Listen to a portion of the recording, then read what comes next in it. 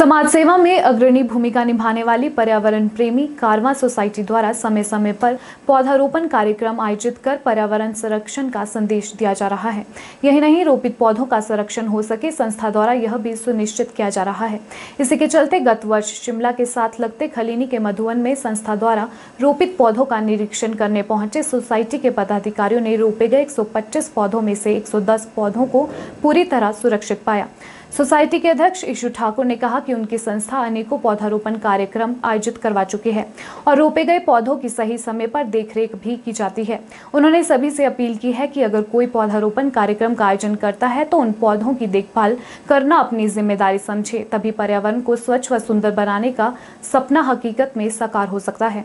पिछले जो था वर्ष था, उस 15 अगस्त 2020 को हमने 125 पौधा लगाया था खलीनी के जंगल में। और आज 10 जनवरी 2021 को हमने जो लोकल लोग हैं, उनके साथ एक इनिशिएटिव लिया कि जो हमने प्लांट्स लगाए थे, उसकी देख रेख भी करनी है।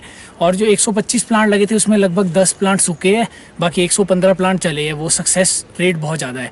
मेरी सभी लोगों से यही अपील रहेगी, पौधारोपण तो हर साल होता है, पर हम लोग क्या करते हैं, पौधा लगा देते हैं बस फ़ोटो खींचने के लिए।